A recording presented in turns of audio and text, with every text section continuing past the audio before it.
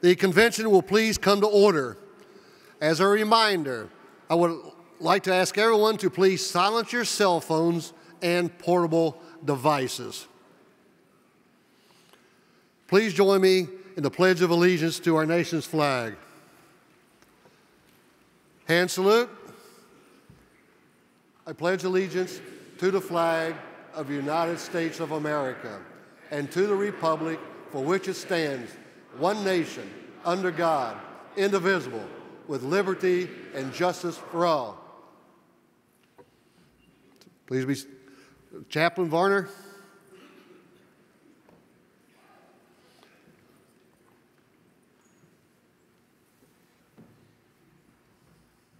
Good morning. May we bow our heads for a moment of prayer. Oh, Heavenly Father, Heavenly Creator, we once again thank you. As we enter into this part of our business section, we ask for wisdom and guidance. Help us to know and to understand that which is given before us as we recognize and award those who are deservingly of all honors. We thank you for your presence. We thank you for being in the midst of these, your people. And the people of God said, Amen. Amen. Thank you, Chaplain. Please be seated.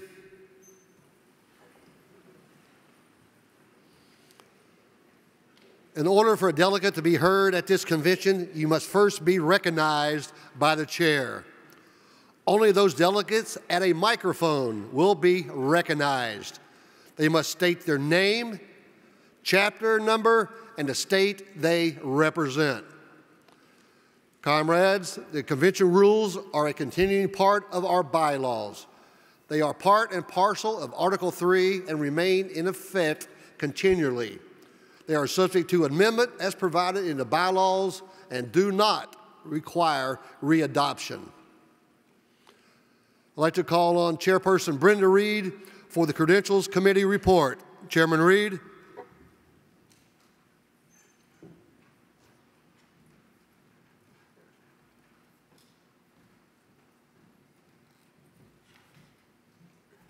Good morning. National Commander Marshall, National Adjutant Burgess, officers, members, and guests. The Credentials Committee met in the Florida Ballroom A at the Hyatt Regency Hotel in Orlando yesterday for the first time at 1 p.m. The first order of business was to elect a chairperson and a secretary. I, Brenda Reed, Department of Florida, District 7, was elected as the chairperson. Warren Tobin from North Dakota, District 14, was elected as the secretary.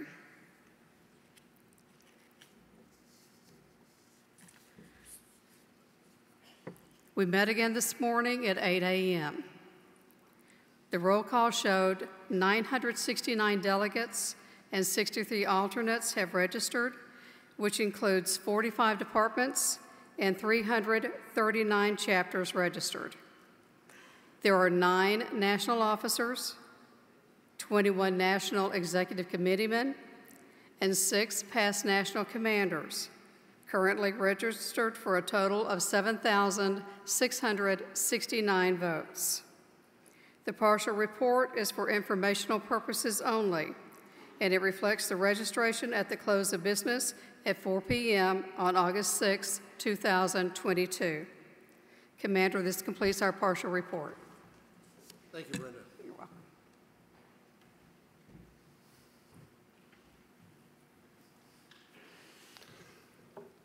At this time, I would also like to introduce and recognize three people, and would you stand when I call your names? My National Chief of Staff, Thomas Ayala.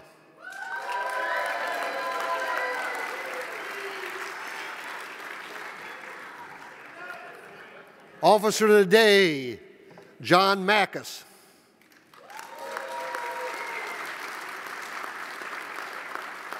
And Sergeant at Arms, John Raber.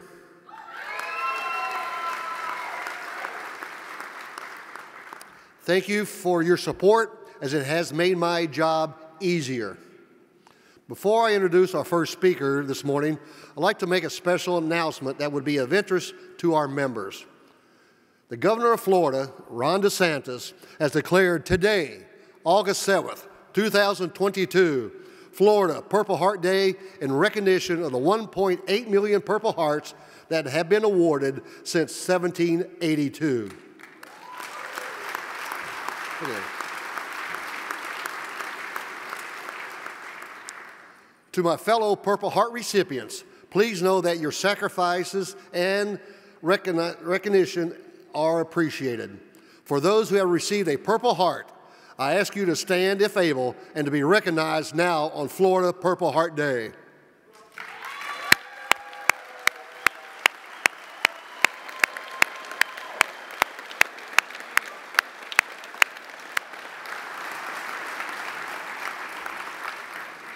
As you can see, I wear my Purple Heart tie proudly, a gift from our national adjutant.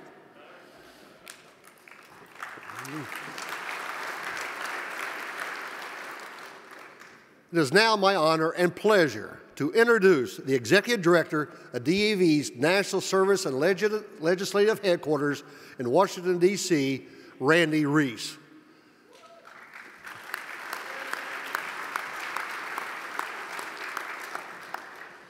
Randy is a native of Bristol, Virginia. He enlisted in the United States Army. Right in 1984 and served as a rifle squad leader in the 82nd Airborne Division during the Persian Gulf War. After the war, Randy served as an elite black hat instructor in the air movement operations and jump master courses at Fort Bragg, North Carolina. It was there he suffered a disabling back injury while conducting a nighttime parachute jump. He separated from the Army in 1995. Randy went on to earn his paralegal degree from Kaplan College of Professional Studies and has become a nationally recognized expert on veterans benefits and services since he joined the DAV as a National Service Officer the year of his discharge. In December 2018, Randy was appointed the Executive Director of DAV's National Service and Legislative Headquarters in Washington, D.C., where he serves as DAV's principal spokesperson before Congress, the White House, and the Department of Veterans Affairs. In this role, he continues to lead our advocacy efforts in Washington as others have before him, keeping us at the forefront of the fight on Capitol Hill for veterans' rights. Ladies and gentlemen, please join me in a warm welcome for the Executive Director of DAV's National Service and Legislative Headquarters, Randy Reese.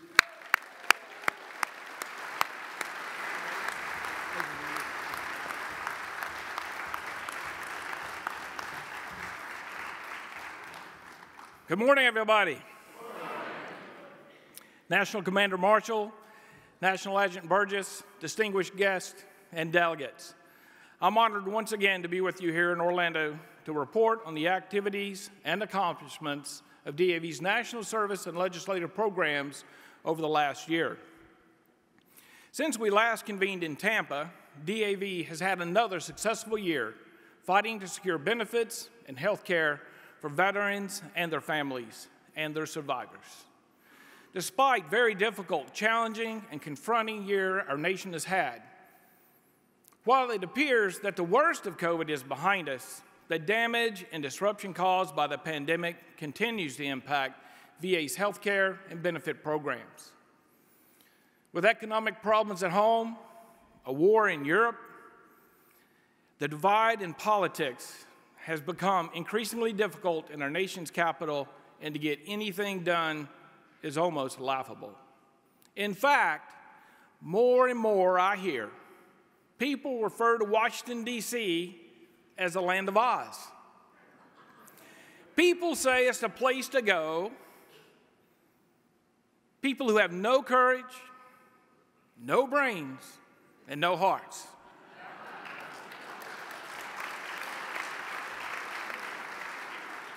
But even with all of the political turmoil, the AV service program this past year was able, once again, to help hundreds of thousands of veterans seeking benefits. Thanks to our early and aggressive transition to digital and virtual technologies, DAV has been able to adapt readily changing conditions on the ground. Throughout the pandemic, we've expanded our ability to meet veterans where they are, whether that's online, over the phone, in their communities, and I'm very proud to say that today our National Service offices are open and providing face to face benefit counseling, even if they're the only ones working in the VA regional office.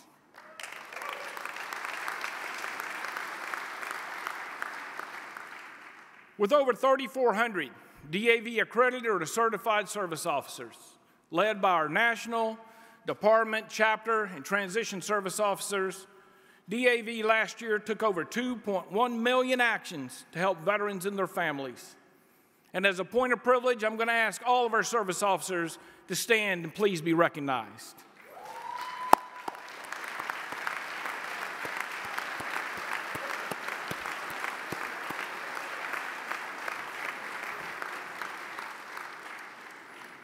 All totaled, the veterans and survivors represented by DAV obtained more than $25 billion in benefits.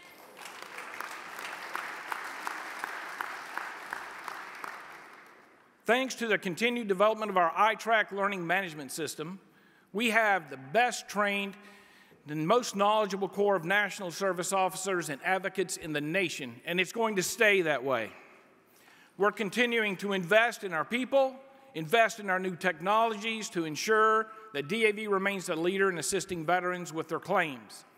That's why more than 1.1 million veterans and survivors today choose DAV to represent them.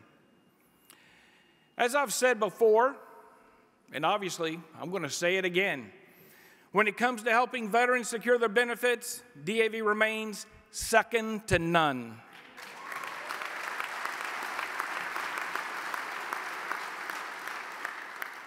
Our National Service staff has been collaborating closely with the leaders of the Veterans Benefits Administration, VBA, to help addressing the rising backlog of disability compensation claims.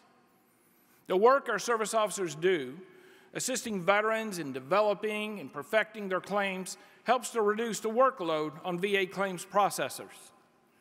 We're also working with VBA on their new automation pilot program which uses artificial intelligence and other technologies to reduce the time it takes to process claims. DAV will continue working to reform the VA claims processes so that every veteran receives their full benefits without having to endure unnecessary waits.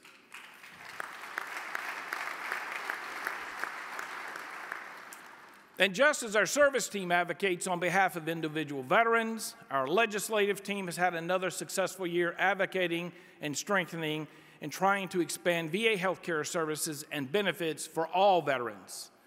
Since we last met, DAV has participated in more than two dozen congressional hearings, roundtables, and forums, both in person and virtually advancing our critical policy goals, and promoting legislation to fulfill our, na our national resolutions. In coordination with benefit protection team members across the country who took our message to Congress in meetings, through the phone calls, and the emails, and on social media, Facebook and Twitter. Our communications team has created powerful content to educate and mobilize veterans and the American public behind our critical policy goals, particularly on toxic exposures. Take a look at this video.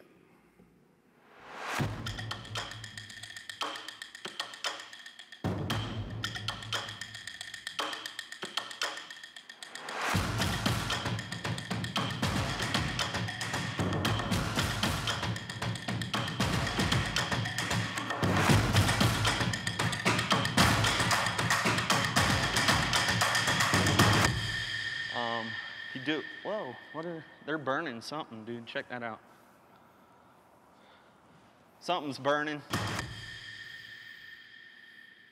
For more than a decade, For more than a decade, DAV has been warning veterans and the public about the dangers of burn pits in Afghanistan, Iraq, and other locations. From bringing the subject to the public's attention, to the creation of the Burn Pit Registry, to drafting the Veteran Burn Pits Exposure Recognition Act, DAV has been on point in the fight to aid veterans harmed by toxic exposures of all generations.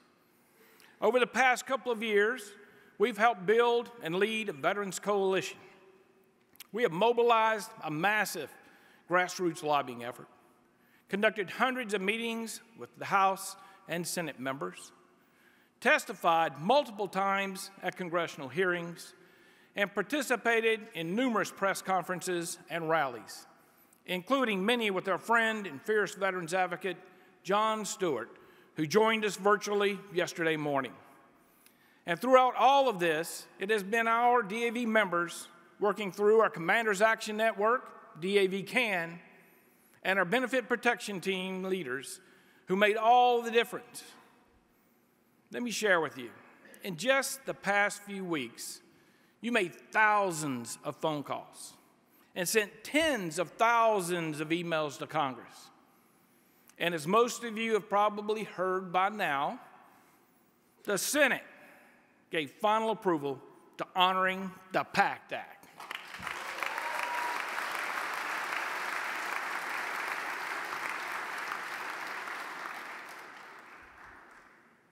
By the time we're done with the convention, the PACT Act should be signed. If not, we're hoping as soon as you get home on Wednesday, while you're in flight, that signing ceremony is going to happen.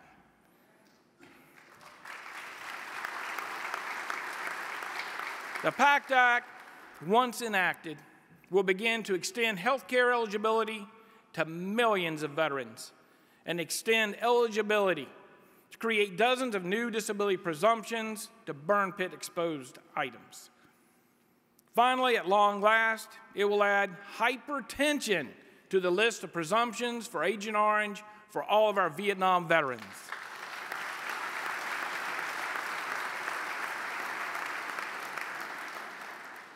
And while we strongly supported the PACT Act, like almost all laws, it took compromise. There is still more to do, ladies and gentlemen.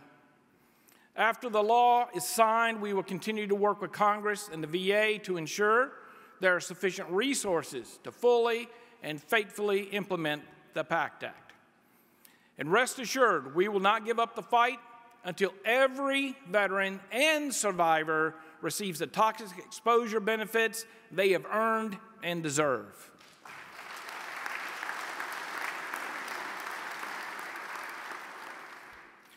With the PACT Act expanding health care eligibility to millions, in the coming years, it's essential that we continue to strengthen the VA healthcare system. We know that VA care is as good or better than private sector care, but shortfall of doctors, nurses, and other clinicians, combined with aging, inadequate, and often mislocated VA facilities, has resulted in too many veterans having to wait too long or travel too far for their care. That's why back in 2018, we supported legislation to establish the Asset and Infrastructure Review Act, or AIR, to create a comprehensive plan to repair, rebuild, realign, and modernize VA hospitals, clinics, and other medical facilities. However, the pandemic did happen, and unfortunately, that legislation did not happen. As last month, a bipartisan group of senators announced their opposition to the AIR process, which effectively ended it. However, considering the flawed data and assumptions underlying some of the VA recommendations, this might have been the right decision. But although the AIR process may be over, our efforts to ensure that VA healthcare system has the people and the infrastructure necessary to provide timely care to all enrolled veterans, especially disabled veterans, simply will never end.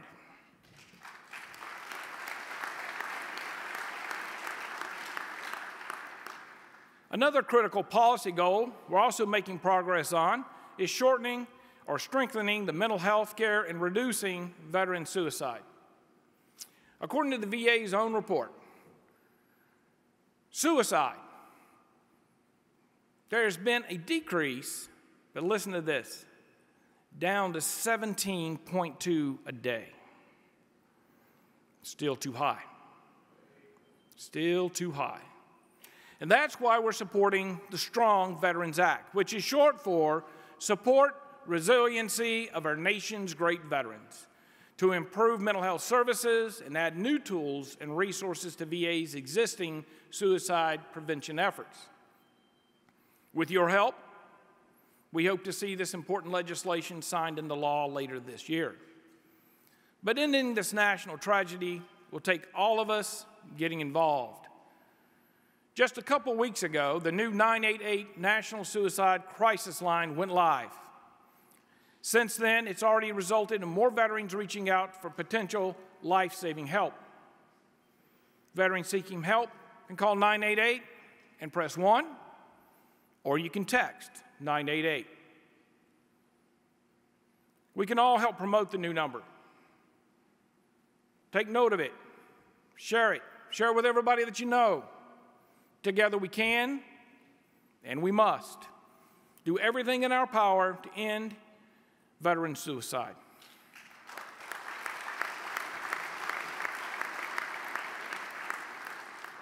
Following up on the landmark Deborah Sampson Act from the last Congress, I'm pleased to report the enactment of two additional laws to support women veterans. The Dr. Kate Hendricks Thomas Service Act will help to expand and prioritize mammography screening for veterans who served in toxic exposed locations, particularly for those with disabilities. The second is the MAMMO Act, which stands for Making Advances in Mammography, will also improve cancer screening and treatment options for women veterans.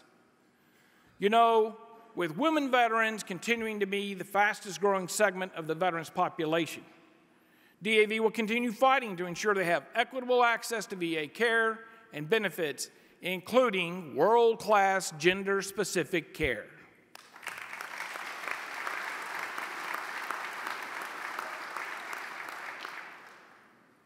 We're always making progress, and we're also making progress on the new legislation packages that comes out regarding VA's long term care options and programs for you.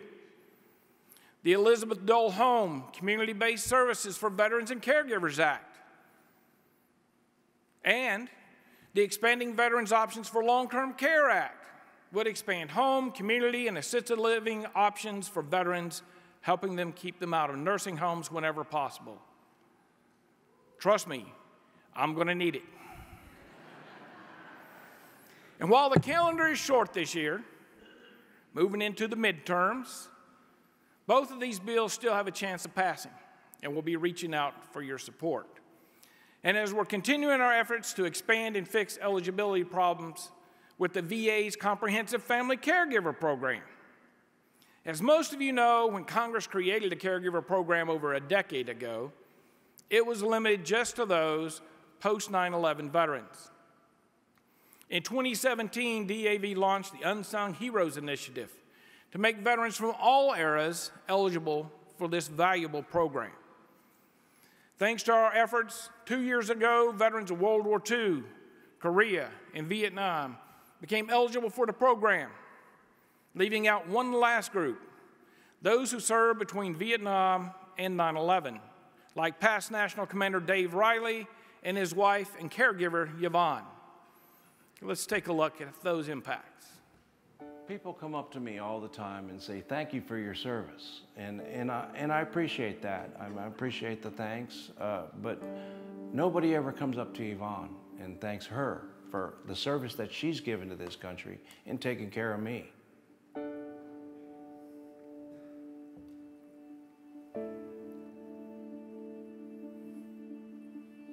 I was just grateful that he made it. I, we didn't think past him making it every day. She allows me to get up, get dressed, get all my prosthetics on, and walk among the people as an equal. And uh, that really helps a lot.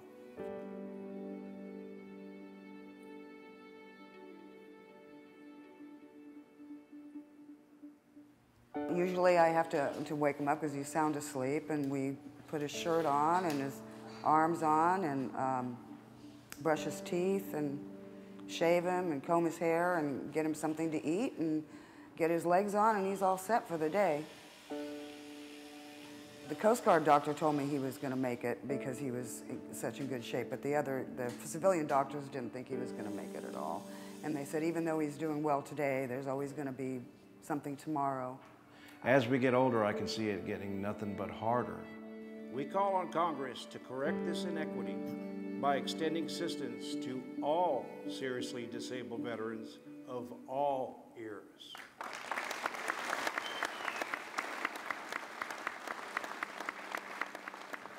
I'm glad that the post 9 11 are getting it. They absolutely need it. Um, but I do feel that we are entitled to it too. We, we put in a lot of years. She had a very good paying job and uh, gave it up to take care of me. She has saved uh, the taxpayers so much money and being my uh, caregiver and, and my quality of life has been so much better. When I needed her most, she was there for me. And she has continued to support me through every challenge since. She and all caregivers are truly unsung American heroes.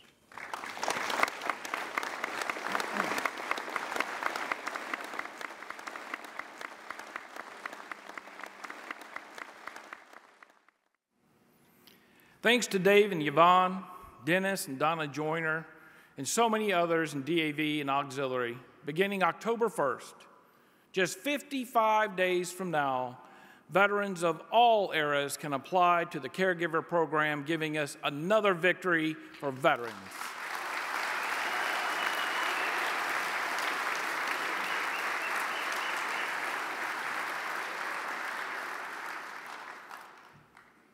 You know, President Abraham Lincoln wrote, Honor the soldier and the sailor everywhere who, who bravely bears his country's cause. Honor also to the citizen who cares for his brother in the field and serves, as best he can, the same cause. The best way to honor them is to ensure that we never forget what they did. That's why great nations take actions to memorialize and remember their heroes. On this day, 240 years ago, President George Washington created the Badge of Military Merit, which exactly 150 years later became the Purple Heart, a medal that many in this room have been awarded and was just recognized moments ago. A hundred years ago, the Lincoln Memorial was dedicated in remembrance of perhaps America's greatest president. Carved into the walls of the memorial are Lincoln's two most famous speeches, both of which talk about honoring and caring for those who defended our nation. Today, I also want to honor and remember two of my predecessors, predecessors as the executive director of Washington headquarters. First, Gary Augustine, my dear friend and colleague, dedicated his entire life to DAV and caring for disabled veterans. After retiring as Washington Executive Director just a few years ago, Gary tragically passed away earlier this year after a vicious cancer swiftly took him from us far too soon. Many of the accomplishments that I talked about today, particularly expanding the caregiver program, would not have been achieved without the work that Gary had done. We send our prayers and condolences to his wife Kelly, his daughter Chelsea, and his son Kyle.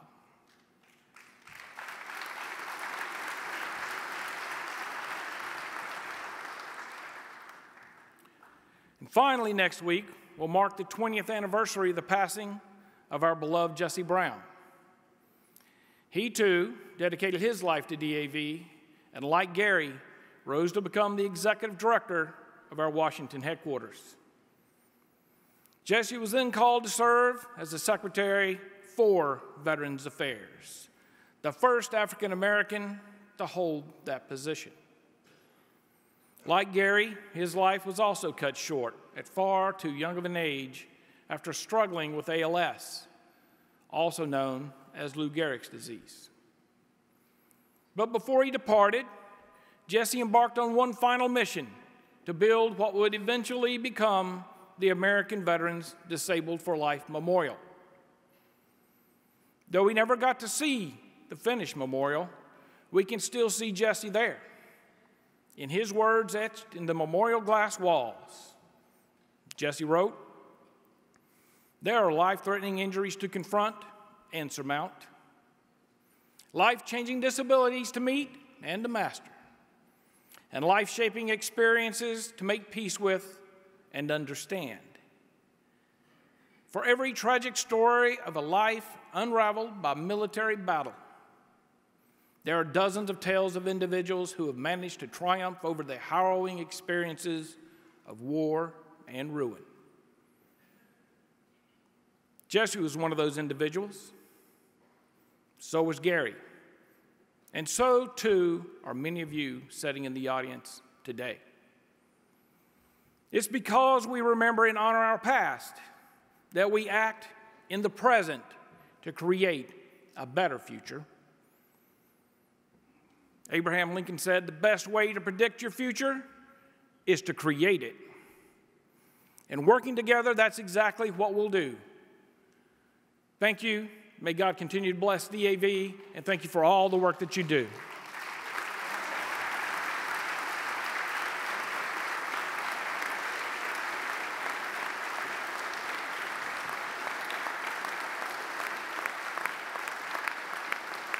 Commander, that completes my report. I ask that it be accepted by the convention. Thank you, Randy. Good job. Thank you, Randy. May I have a second to accept Mr. Reese's report? Mike, Mike three. Mike three. Mike three. Albert J. Bacon Sr. from the great Sunshine State of Florida, chapter 17. So moves. Thank you. We have a motion and a second. All those in favor signify by saying aye. aye. Opposed? Motion carried.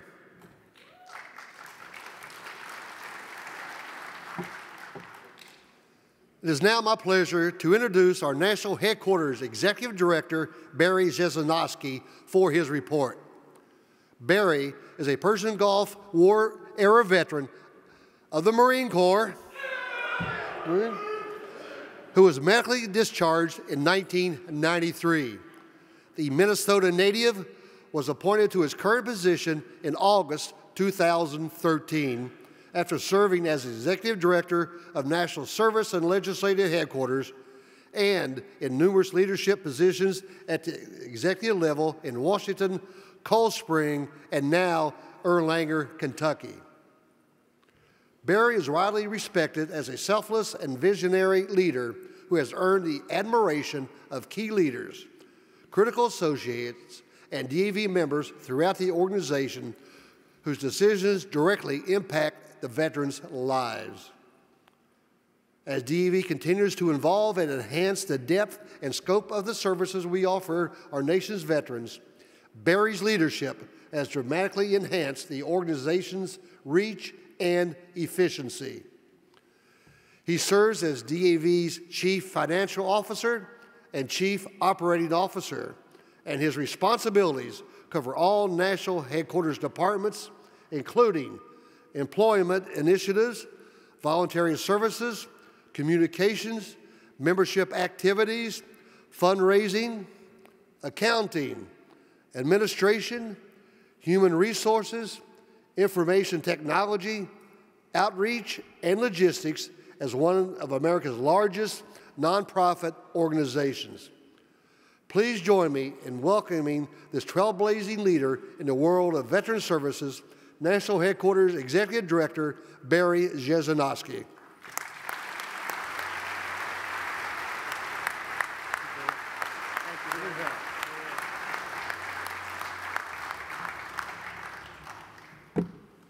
Good morning. Thank you, Commander. Uh, before I begin, let's not pretend I'm going to forget about how rough you've been on Marines the last couple of days.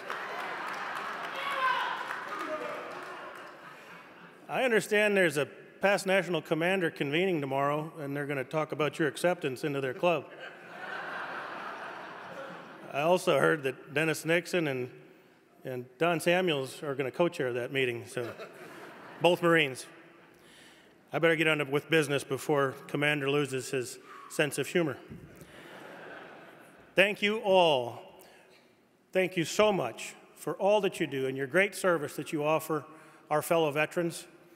As we mark our first full year in our new national headquarters facility, being here among you is another reminder that our cause is not tied to brick and mortar, but to our members, the veterans we represent, the families who sacrifice alongside them, and our sacred charge to ensure our promises to them are kept.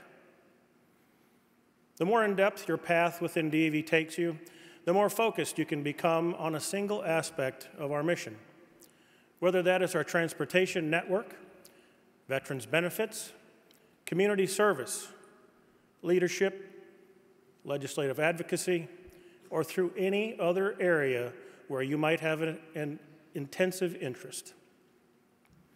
But what we cannot forget is that no matter how we experience or serve our DAV, at the end of the day, our core objective is to ensure promises are kept to America's veterans. And that means ensuring we understand, at least at a very basic level, what the promise is. This year, DAV partnered with Military Veterans in Journalism to help educate a core group of disabled veterans for a speakers bureau that was created to provide outreach to newsrooms across the country and to ensure that veterans are covered fairly and appropriately. And we had to again examine at a foundational level our sacred charge to honor the sacrifices of the veterans we serve. What is this promise? The agreement that binds our nation with its defenders is elegant and simple when distilled. If a man or woman is changed while shouldering the burden of our national defense, we as individuals and our government have a patriotic obligation to ensure we do our utmost to make them whole.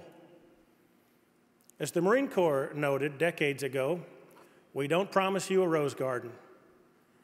No one expects the military life to be one of luxury and serenity.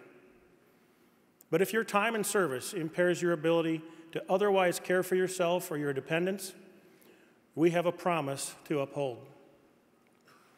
The benefits and healthcare system we fought to establish and maintain for these many years mean a lot to those we assist. In some cases, the award of benefits is a validation, the recognition of a sacrifice. In other cases, it's a reprieve from destitution. And in others still, benefits and care represent hope and provide veterans with a precious hand up to pursue their maximum potential. And all those things are important. But at the end of the day, it boils down to a promise and justice. Anything short of meeting that promise to the utmost of our abilities is an injustice to those individuals and families whose lives are forever changed. And when we think of the awesome responsibility that comes with this charge, it is fair to ask who is responsible for keeping our promise. Some would say it's primarily the responsibility of our government. Others might say it's incumbent upon the industries and individuals who benefit most from our national prosperity. And others think it should fall almost exclusively on the purview of charity. But from what we've seen over the past two decades, years we have spent mostly at war, the promise belongs to every American, our government, charities, and all who enjoy the liberties and opportunities our nation affords. And when it comes to keeping our promise, Today, your DAV is going further than ever before in our long and storied history. If we go back just 10 years into our past, DAV's focus was almost exclusively centered on ensuring the government was upholding its end of the bargain. From DAV's earliest beginnings, we advocated for employment, training, and preference so veterans changed in wartime service could achieve maximum independence. And it worked in a way that brings great credit upon our organization. From the start, we have said for those who are able, the transition from the military to civilian life is not complete until a veteran has meaningful employment. This year, less than a decade after the creation of DAV's National Employment Program, we can mark 162,132 job offers for veterans, transitioning military members and their spouses. Since we last met, DAV has co facilitated 90 career fairs, helping veterans pursue a new mission after service. Our focus is on empowerment, helping veterans receive the benefits they earned based on the abilities they sacrificed in the military is important. It remains the most important and worthy service in DAV's arsenal. But as Commander Marshall uh, so eloquently pointed out yesterday, a key to recovery is having a mission that you believe in. We here have found that through our involvement in DAV, of course, but complete self sufficiency requires even more. Helping veterans connect with meaningful employment provides them with a sense of confidence and independence that nothing else can. But something came up last year that piqued our interest. We asked ourselves, what if we were able to provide veterans with a new mission, help them get jobs, ensure they get their earned benefits, and then had the capability to help them become job and benefits creators? When we became aware of Patriot Boot Camp several years ago, we were presented with an opportunity to support an effort that empowers veterans and spouses on an entirely different level. As of January 1st, as you know, our newly acquired DAV Patriot Boot Camp enlists a vibrant community of veterans and business leaders committed to enabling people in our community to become entrepreneurs. We've undertaken this new mission with an almost selfish and single minded intent. If we can make our fellow veterans millionaires, that's fine.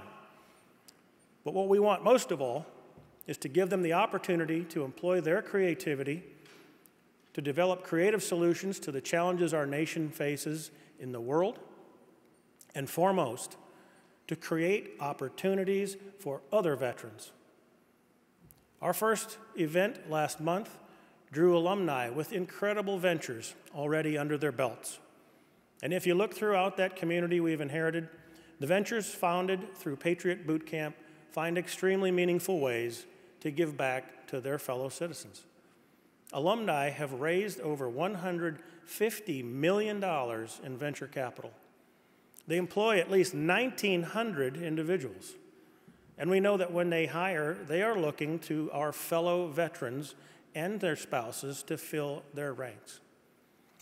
While the acquisition is the first in our organization's history, it's just one way your DAV is evolving in terms of the services we deliver and the way that we conduct our business these days. Within the last decade, every program and process at DAV National Headquarters has undergone an evolution, one that is still underway as we speak. We continue to diversify our fundraising, take on exciting new initiatives based on DAV's strategic objectives, and look for sustainable ways to meet the most important needs our veterans face. We're rapidly taking on new capabilities to help maintain our membership and efficiently recruit and replenish our ranks. Throughout the pandemic, our transportation network was limited, but DAV vehicles were on the road, making sure patients received the care that they earned in service. Last year, we provided more than 163,000 rides. Now, while that's a fraction of the impact we made pre COVID, or that we will make again, it alone is more than many major charities in our sector contribute in a year. We will need to make a concerted effort as we drag ourselves free from the coronavirus doldrums to revitalize that critical program. But we have the resources to do it, and we must not overlook the lives that were saved or sustained by our selfless volunteers. If we take a moment to reflect, which is something we may not do often enough, we've already talked about some of the most significant ways to help veterans achieve self determination. For most who suffer a major setback in their health and uniform, benefits, employment, and opportunities to pursue autonomy are key pieces in making veterans whole. But while these tangibles are obvious, they alone cannot fully equip veterans with all they need to overcome the adversity that comes with a life changing and profoundly devastating illness. Technology has made it possible for us to go further than ever before in replacing limbs lost in war and providing prostheses that allow veterans to overcome challenges in ways that would absolutely boggle the minds of DAV's founders. But sometimes the greatest challenges veterans encounter come from limitations their experiences have caused deep within themselves. In the last several years, DAV has expanded our role in adaptive sports. The National Disabled Veterans Winter Sports Clinic, an event we've co presented for 35 years, remains a world class event that barreled through COVID and Snowmass early this year. The National Disabled Veterans Golf Clinic, which will be held in Iowa next month, though comparatively new to DAV, is showing signs of growth and stability thanks to our partnership with the VA. Supported in large part by contributions from DAV chapters and departments, these events help the veterans we serve by giving them the opportunity to challenge the limitations their most profound disabilities can cause. But through collaborative relationships with other entities, DAV is becoming intimately involved in new initiatives that address the deeper concerns that impact our community and contribute to the alarming statistics we've seen of veterans choosing to end their own lives, as Randy just explained. That includes Save a Warrior, who you'll meet in person on Tuesday morning, both through a significant grant from our Charitable Service Trust and a partnership with DAV. Save a Warrior takes an extremely intensive, innovative approach to drilling down into the issues that plague our veterans' mental health and limit their capacity to embrace their post service lives. The Trust's $1 million grant is a primary source of funding for Save a Warrior's National Center of Excellence for Complex Post Traumatic Stress, which carries DAV's name as a sponsor. We also continue to build our relationship with Boulder Crest. There, too, a grant is accompanied with the participation of DAV mentors, working hands on to address the needs of veterans paralyzed by trauma that is invisible to the eye, but an absolute impediment to their achieving full quality lives. Through both programs, all female veteran cohorts are in place to ensure effective outcomes for women who struggle as a result of their service. Another partnership with a charity called Operation Honor gives veterans new skills and therapy through woodwork. A $148,000 grant is helping fund the construction of its new home called Patriots Landing in Kentucky. In each case, the Trust and DAV are more than a source of funding. We are true partners. We support the services they provide, and in doing so, introduce their participants to the many services DAV offers that can help them beyond the tremendous hurdles that they can overcome with the tools and confidence each provides. We also continue to see incredible momentum in our efforts to educate the public and our fellow veterans about the services we offer. We closed 2021 with more than 8.2 billion impressions for our PSA campaign.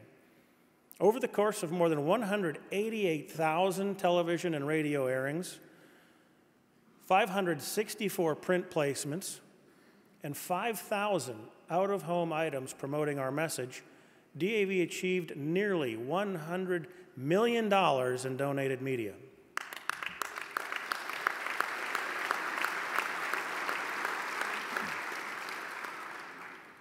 That includes a special partnership with Sinclair Broadcast Group that resulted in more than 100 stations airing our centennial documentary, The Battle Never Ends.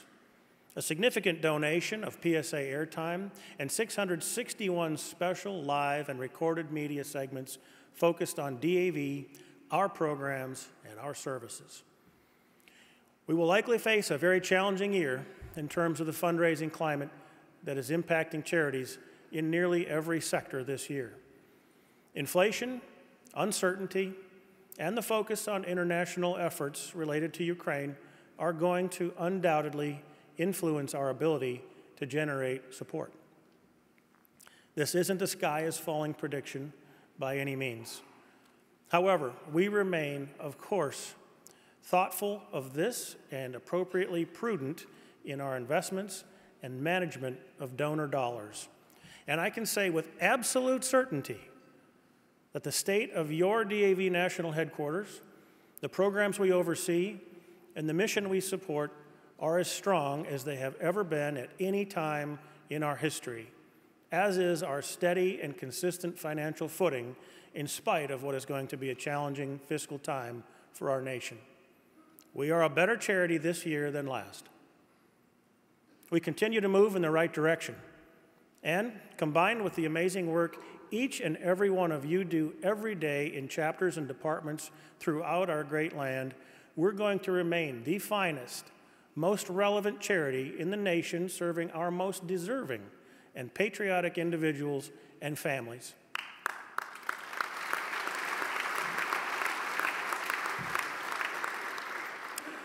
Thank you all for your time, for all that you accomplish in service, and for all we do together in the year to, ahead to keep our sacred promise.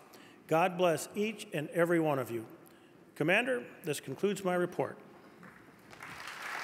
Thank you, Barry. Good report. Thank you, Barry, for that outstanding report. May I have a motion to accept Mr. Jesinoski's report? Mike Four. Mike Four. Mike Four, District 13, makes a motion to accept Barry's report. I have a motion. May I have a second? Mike, Mike 1. Mike 1. Robert Graves, Department of California, Chapter 5, Los Angeles, makes second. Hmm. All those in favor signify by saying aye. aye. Opposed? Motion is carried. Thank you, Barry.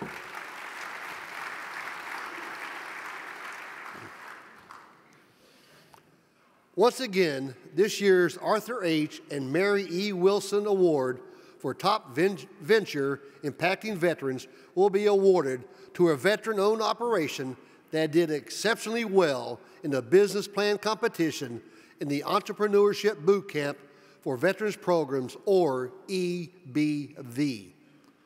The EBV offers cutting edge experience and training in startup and small business management to veterans with disabilities. The EBV program business plan competition mirrors DAV's mission of empowering veterans to lead high quality lives with respect and dignity. Sharing in that same vision, DAV is proud to support this competition by offering a financial award for the specialty category of top venture impacting veterans, which is made possible by a contribution and ongoing commitment for one of the organization's two true friends, Rick Fenstermacher, who was instrumental in helping erect the American Veterans Disabled for Life Memorial. This award recognizes a disabled veteran who has taken on the challenges of starting their own business and has set an example for others. I'm happy to announce that this year's winner is Erica McKim of And I Like It Bakery in Dallas. After medically retiring in 2014, Navy veteran Erica McKim founded And I Like It, a bakery focused on keto friendly treats made with all natural sweeteners. She discovered the health benefits of low carb foods after a change in diet alleviated many severe health issues that had forced her to retire from the military. And I Like It sells cheesecakes in 11 stores across the Dallas Fort Worth area, along with three different all natural sweeteners. Her customers include people battling health issues and dietary restrictions of their own.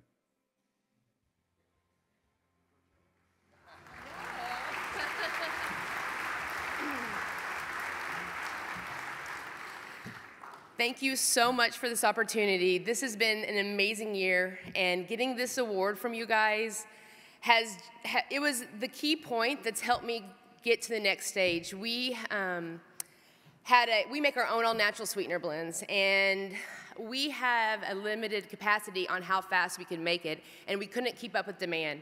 And with this award, we have been able to buy equipment that's gonna help us um, produce our sugar substitutes 650% faster than what we've been doing, and we're hoping now to be able to bring it nationwide. So I just want to thank you guys so much.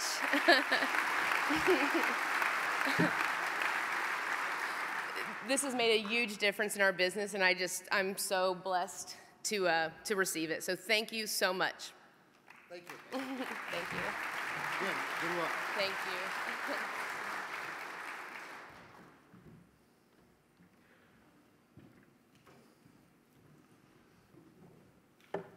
I'll ask National Employment Director Rob Luigi to join me on stage, please.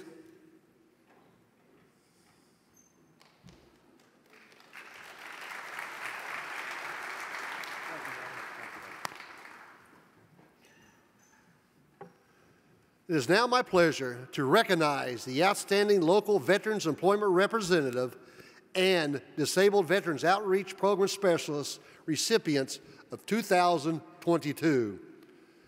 These awards recognize the commitment and compassion of two individuals who are dedicated to serving our nation's heroes. The recipients here today are outstanding examples of veterans helping veterans, and we're more than proud to honor them for their dedication and selfless service. The award for Outstanding Local Veterans Employment Representative is presented to Navy veteran and DAV member Serena Bermudez.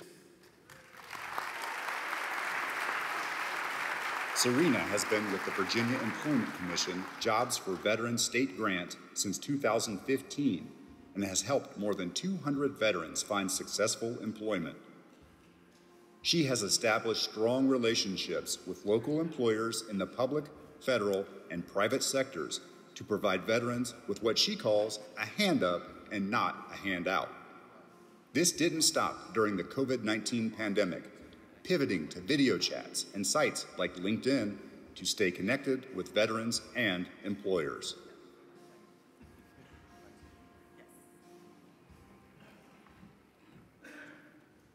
First of all, I'd like to thank DAV uh, for this award.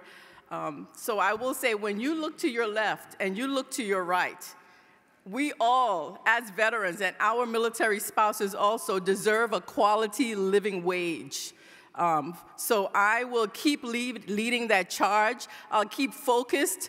I'll keep educating. I'll keep providing knowledge to our, our veterans and our spouses to be able to gain that gainful employment.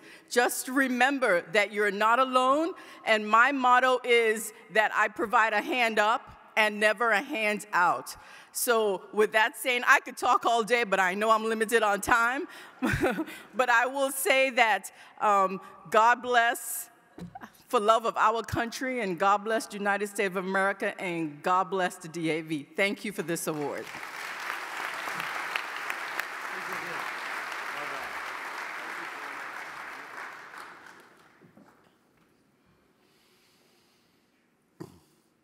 The 2022 Outstanding Dis Disabled Veteran Outreach Program, Program Specialist is a passionate advocate for Wisconsin veterans. This year's recipient is Nancy Brown. Nancy Brown, a Navy veteran, has been with Wisconsin's Department of Workforce Development since 2013.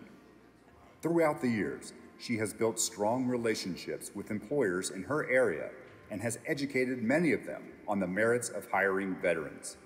This effort has led to many veteran success stories. Just in the past year, she helped 31 veterans find gainful employment in north central Wisconsin.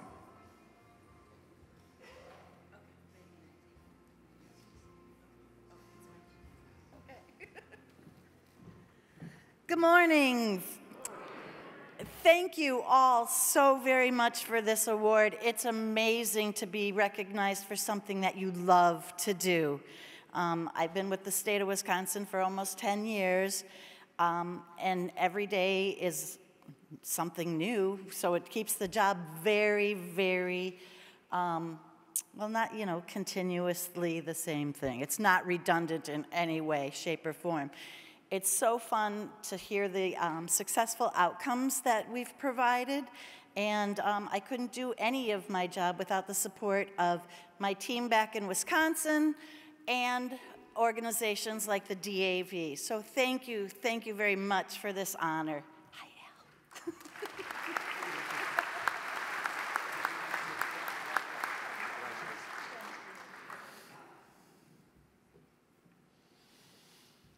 Each year, DAV recognizes companies that go out of the way to recruit, hire, and invest in veterans.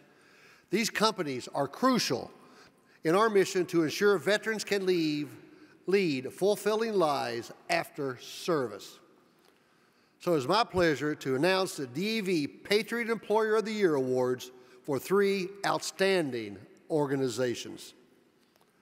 The 2022 Small Patriot Employer of the Year Award goes to a company that truly values what veterans bring to the workforce. And it just happens to be a stone's throw away from our DAV national headquarters in Erlanger, Kentucky. Congratulations to the 2022 DAV Small Patriot Employer of the Year, Aristech Services. Aris Services, LLC, now part of Trinseo, manufactures and distributes surface and design materials around the globe. In 1996, Aris was proud to have contributed materials to the original traveling replica of the Vietnam Veterans Memorial, The Wall That Heals. Today, Aristech actively recruits veterans and fosters their success with thoughtful policy that celebrates service and recognizes military experiences as an asset to be valued. More than 10% of Aristech employees at its Florence, Kentucky branch are veterans, with plans to continue growing recruiting efforts. Because of Aristech leaders, hiring veterans isn't just good for business. It's a way to honor those who served and sacrificed so much. While our friends from Aristech couldn't make it to Orlando, they still wanted to thank DAV for their honor. Hello, my name is Ruth Moore, and I am the VP of Human Resources for Aristech Surfaces in Florence, Kentucky, now a part of Trinseo. Today, we are so honored to be here and to be recognized by the DAV for our Employer of the Year category in the Patriot Award.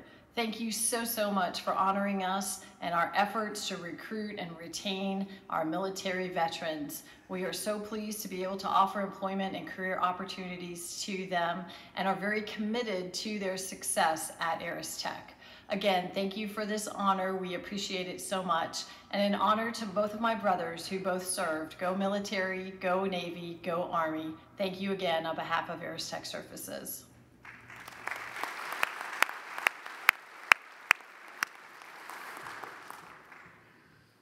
Our 2022 DAV Midsize Patriot Employer of the Year is a service disabled veteran owned small business based in Virginia. Please welcome to the stage Sierra 7 founder and CEO Rafael Fagundo. Sierra 7 provides an array of tech support and solutions in the healthcare arena. Rafael Fagundo, its CEO and a Navy veteran, founded the company with a simple but noble mission serve those who serve. In pursuit of that mission, Sierra 7 utilizes veterans' unique experiences and qualifications. Since 2020, Sierra 7 has hired 166 veterans, over half of whom are disabled veterans.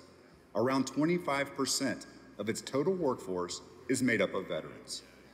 Seeing the immense potential of what veterans can bring to the field, Sierra 7 recently implemented a Veterans Leadership Program designed to empower veterans in their personal and professional growth. That is commitment, not just to a mission, but to people, to those who serve.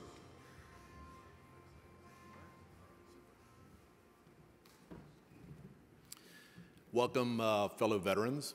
Um, on behalf of Sierra 7, we are absolutely honored to receive the award of uh, Midsize Employer of the Year from the DAV, an amazing organization that we're so happy to be uh, tied to.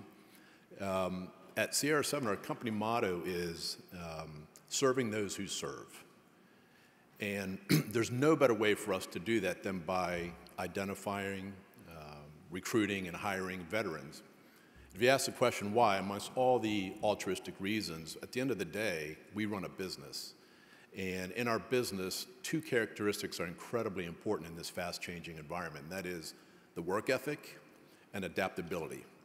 And I can't think of any other community or cohort uh, of individuals beyond the veteran community that are best suited for that, given we've all learned that during our time uh, in active duty. So, uh, again, on behalf of Sierra 7, we're thrilled to receive this, uh, this recognition. Um, thank you guys. Thank all of you for your service. And God bless America. Thank you.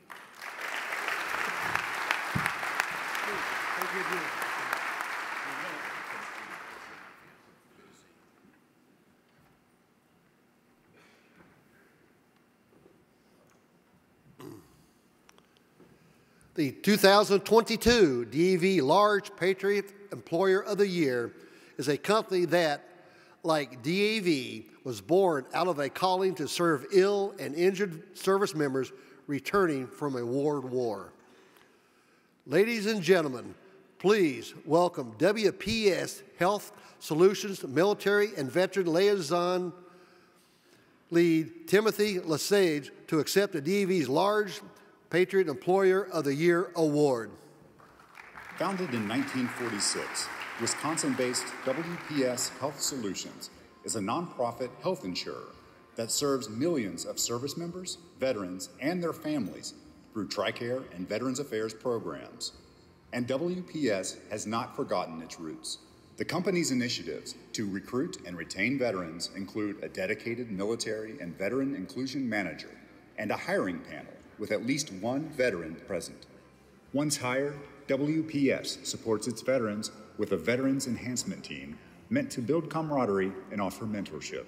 WPS also invests in the wider veteran community outside of the company. It proudly supports the University of Wisconsin's Missing in Action Recovery and Identification Project and has partnered with the Green Bay Packers to recognize veterans before kickoff.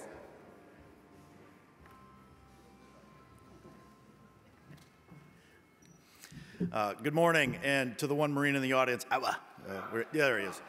Uh, uh, first off, thank you very much uh, for this award. It's amazing to be uh, affiliated with such an amazing group. After 22 years of active duty service, a couple Purple Hearts, the scariest thing I've ever done in the military was get out. Uh, not knowing, not knowing what comes next. Um, it takes a, new unit such as the DAV for veterans to transition into and a new team uh, like WPS to really assign ourselves to to give us morale and, and boost our, our mission in life. I want to thank WPS. Uh, as you heard, we came together in 1946. Physicians saw a gap and a need for service to our veterans coming home from World War II, and we have the TRICARE contract and assist with that processing claims TRICARE East, TRICARE Overseas, TRICARE for Life. Um, it- it's an amazing uh, work environment at WPS, and I'd be remiss in my duties if I didn't thank our CEO and president in the audience, Mike Hamerlik. If uh, this will be painful for him, but please stand and be recognized. Yeah, thank you. Um, as you can see at WPS, you know, the CEO and president puts all of the effort into the team players that make the mission happen every day, hence me being up here today as the military uh, and veteran inclusion lead. Uh, our DEI team is here also, and very thankful to DAV and our team at WPS for the the work that we do, the mission that we have in supporting our veterans, their claims, and everything that you all do in order to help veterans like myself transition into your new unit. So thank you.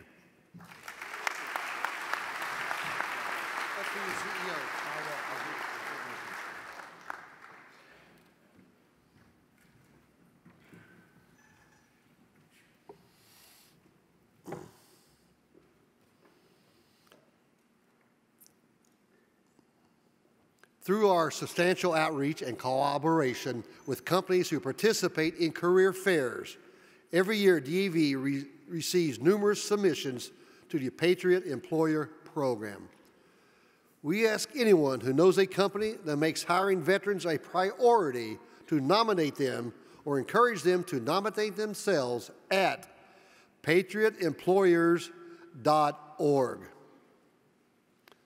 In addition to our top award recipients, we've added categories for additional ventures who excelled in specific categories, including hiring and recruiting, career building and retention, excellence in community support. The names of these outstanding employers will be submitted for the record. Also, they and all who were recognized through patriotemployers.org will receive digital badges to promote their excellence in hiring our nation's heroes. Please give these and all employers who support our community one more round of applause.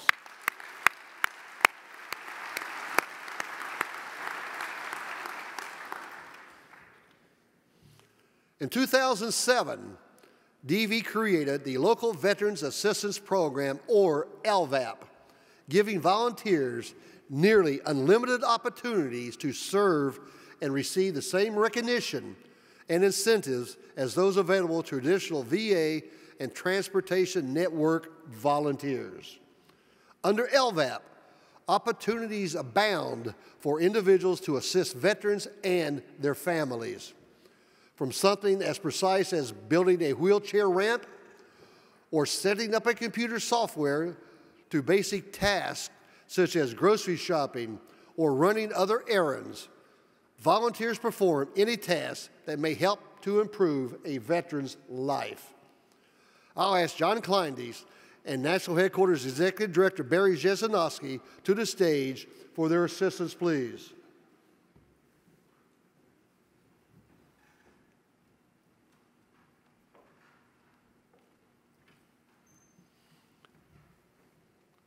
Ladies and gentlemen, it is my extreme pleasure to recognize our top DAV state level departments in the area of LVAP service. The Division One Local Veterans Assistance Program recipient, I hate to say this, is the Department of Virginia. Past Department Cynthia Bailey with 236,408 hours. Here to accept the award is Assistant Department Adjutant Lisa Gregory.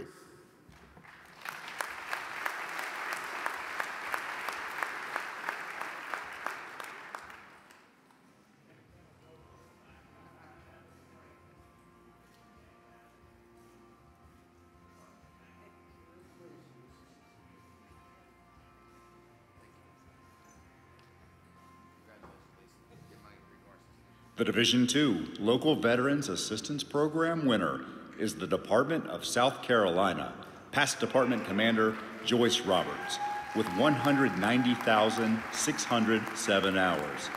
Here to accept the award is Department Adjutant Andy Miller.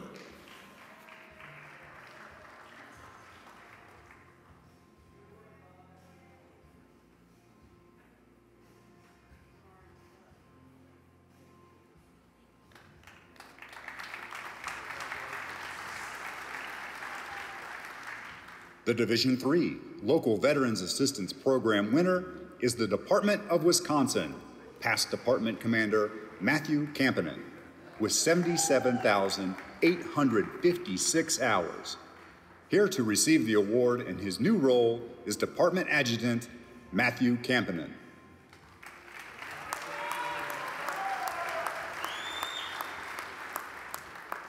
The Division IV Local Veterans Assistance Program winner is the Department of Nebraska, past Department Commander James Jacob, with 40,119 hours. Here to bring home the award is Department Adjutant Jamie Jacob.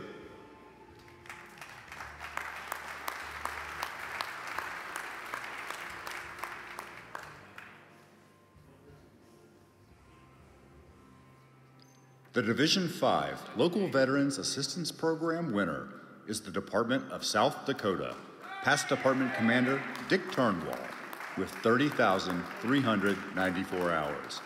Here to receive the award is Department Commander Dan Francis.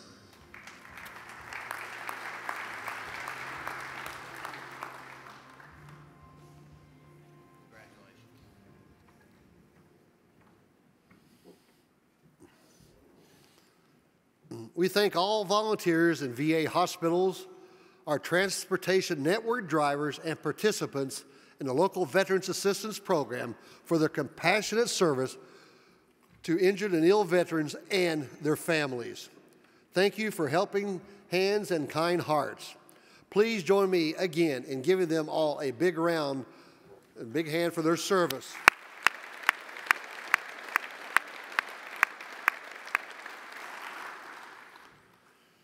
For our next order of business, I'll ask Washington Headquarters Executive Director Randy Reese and National Service Director Jim Marszalek to the stage for our next important presentation.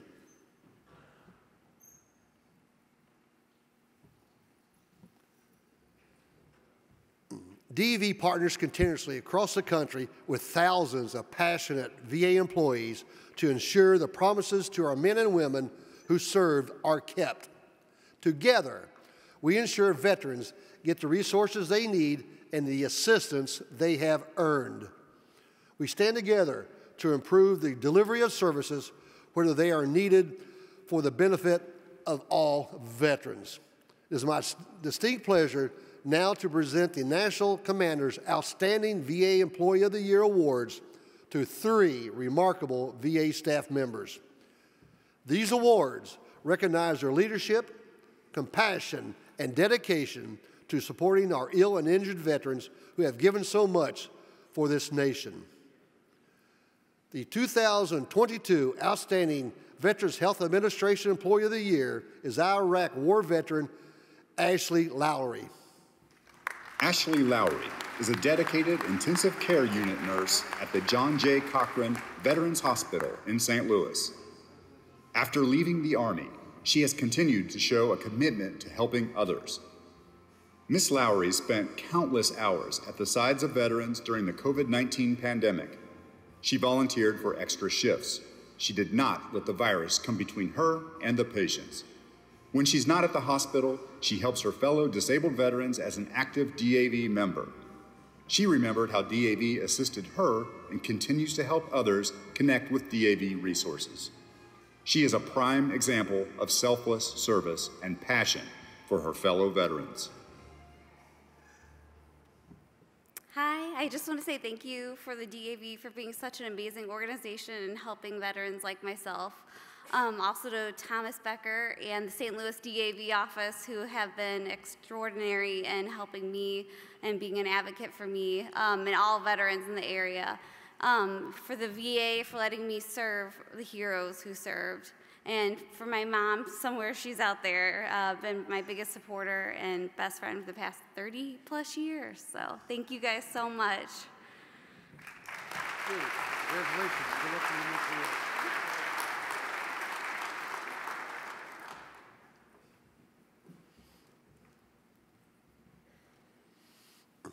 Ladies and gentlemen, please join me in welcoming the 2022 Outstanding Veterans Benefits Administration Employee of the Year, Rebecca A. Brennan.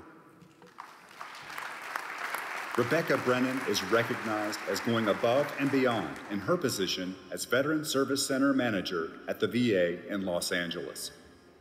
It was a very short time after she started in her position in 2020 that DAV service officers connected with her. Through collaboration, DAV, veterans, survivors, and their families have found a tremendous friend and partner in Ms. Brennan. She has gone out of her way to work with service officers to enhance DAV's capabilities. She has a true open door policy with DAV, ensuring there is accurate awareness of delays and backlogs of VA disability claims pending decisions. Ms. Brennan oversees the workload of 13 teams. She provides leadership for nearly 270 employees. Yet she will stop what she is doing to help a veteran on a call with DAV to resolve an issue and even reopen claims on the spot. She does this even if the veteran lives in another state.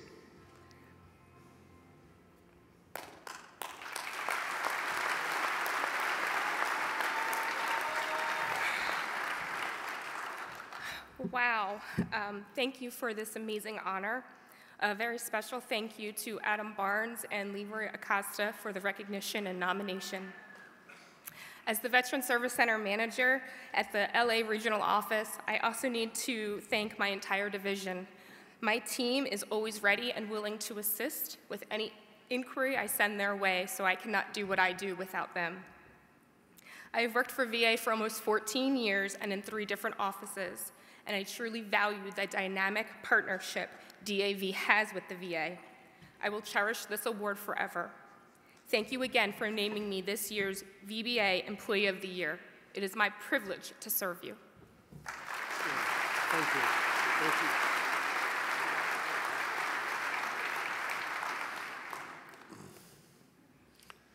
Now, I ask Legislative Director Joy Ilem to come to the stage.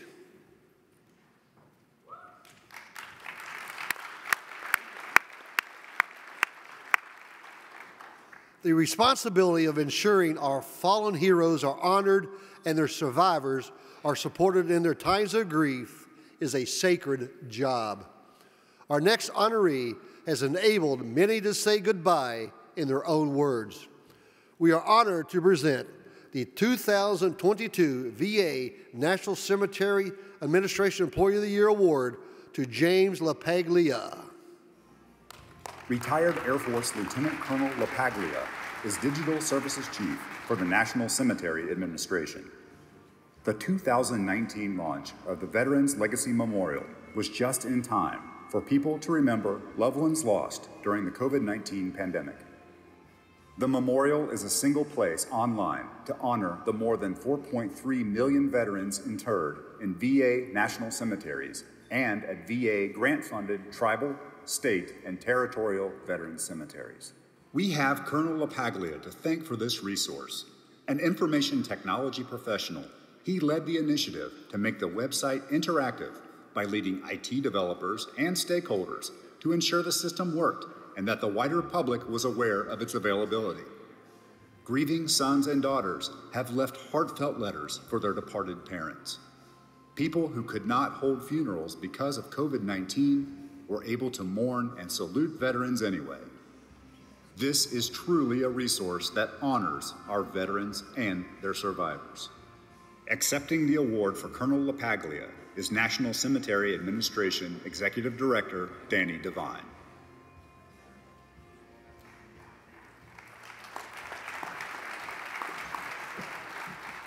Thank you on behalf of Jay. You know that guy sounds really good. I'm glad he's uh, I'm glad he's working for me. Um, James is uh, kind of embarrassed that he's not here personally. He's with his family instead, having the final vacation of the year. Uh, so he means absolutely no disrespect. This honor is a big deal to him, and I thank the body and I thank the commander for what you've done in honoring James. It's, he's a really good employee, and uh, I'm, I'm, glad I'm able to, to keep him this way. So thank you very much, DAV. Thank you.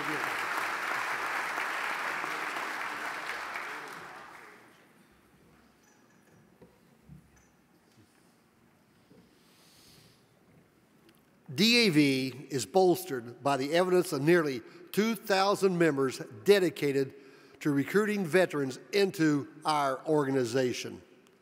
They help maintain a strong voice with lawmakers and keep DAV at the pinnacle of excellence as our nation's premier veterans group. Even as technology and changing demographics continue to affect the way we do all of DAV's businesses, our dedicated recruiters stay ahead of the curve by working diligently to welcome new members into our ranks. This unyielding effort helps to ensure DAV's legacy lives on for future generations of veterans. I'd invite Executive Director Barry Jesinoski and National Membership Director Doug Wells to the stage as we recognize our top division winners in recruiting for 20, 2021 and 2022. The Division One winner is the DAV Department of Massachusetts. Please give a round of applause for past Department Commander William Egan.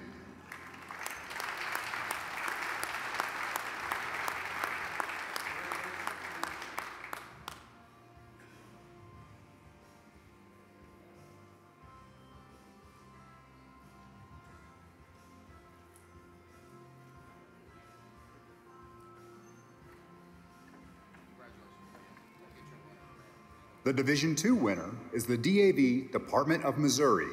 Please give a warm welcome to past Department Commander David Gerke.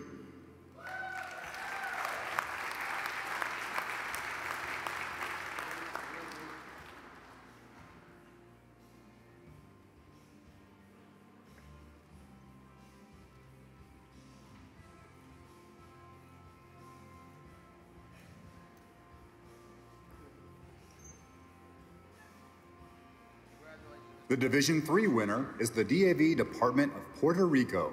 Please give a warm welcome to Department Commander Ruben Arce.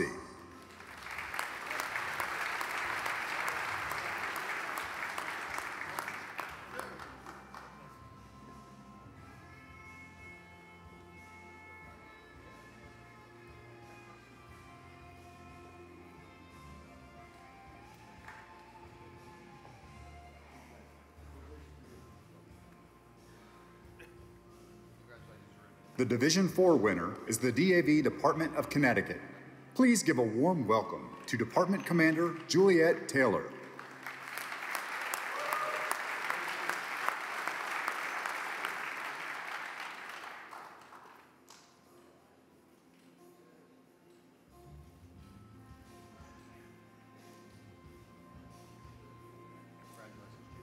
The Division 5 winner is the DAV Department of Wyoming. Please give a warm welcome to Department Adjutant Floyd Watson.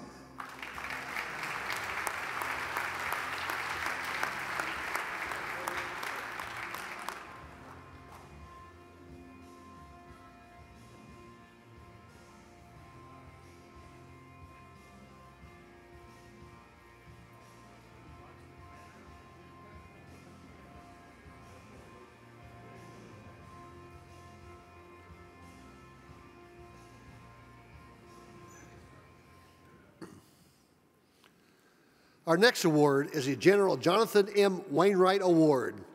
It is presented to the department that closes the year with the largest percentage increase in total new members.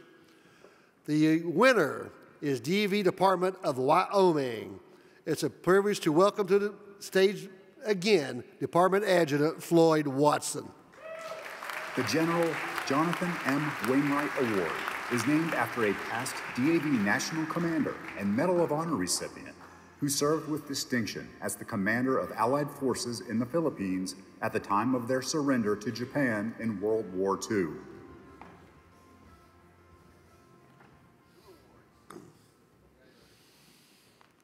The Judge Robert S. Marks Award is presented to the department that completes the year with the highest percentage increase of fully paid life members over goal. This year's winner is the Department of South Dakota. Please welcome Department Commander Dan Francis. The Judge Robert S. Marks Award is named after DAV's founder. Marks served in the Army in World War I. He earned the Distinguished Service Cross and was injured in the Meuse-Argonne Offensive in 1918. He later became a Superior Court judge and law professor.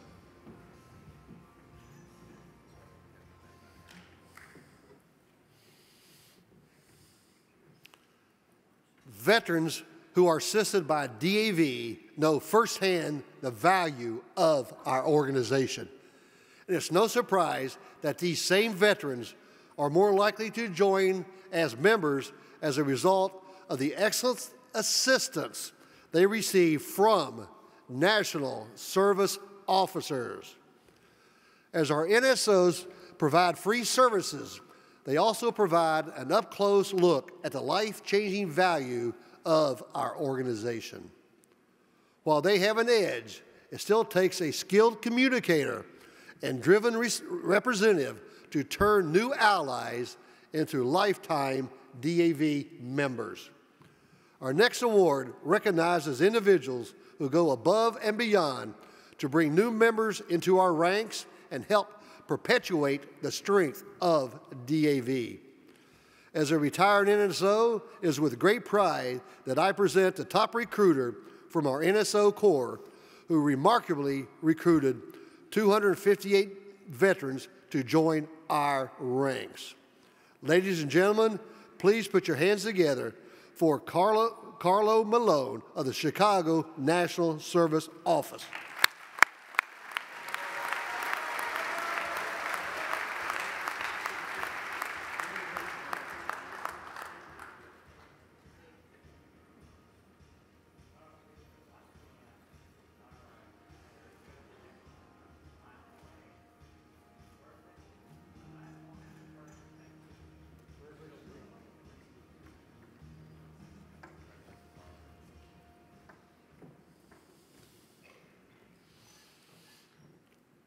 Our top recruiting member of the year is Michael Crow from DAV Chapter 8 in Mesa, Arizona.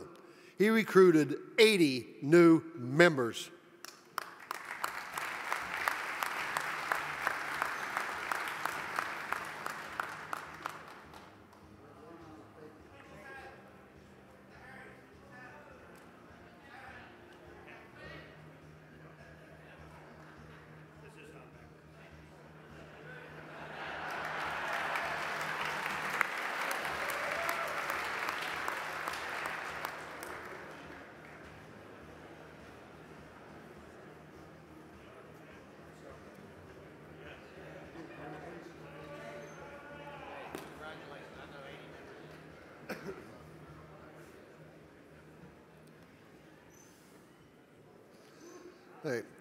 Since 1994, DAV has recognized the successes of its members who have signed 100 or more new members for three consecutive membership years with a gold lapel pin and by entering their names into the Membership Recruiters Hall of Fame.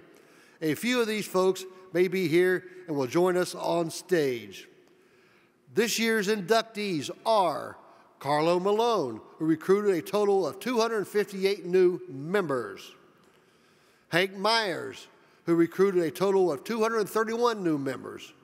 And John Rodriguez, who recruited a total of 202 new members.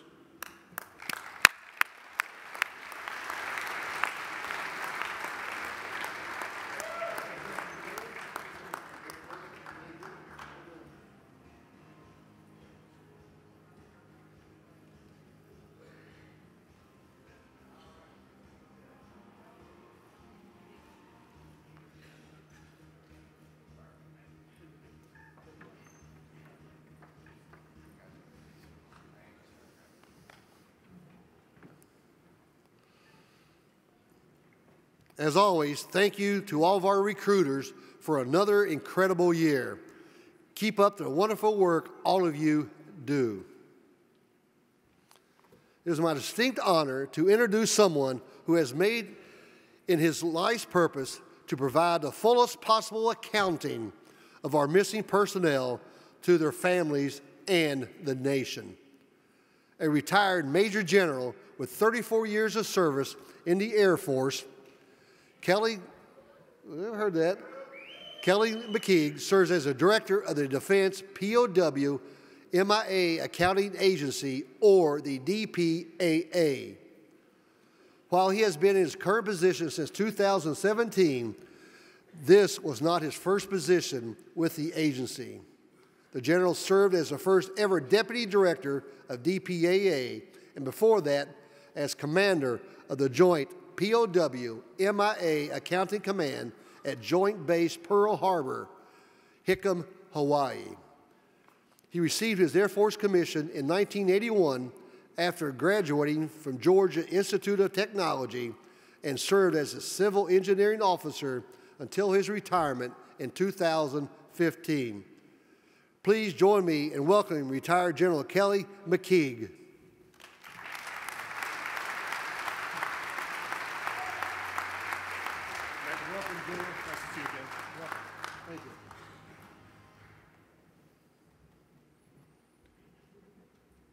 National Commander Marshall, National, National Adjutant Burgess, distinguished DAV members, warm greetings.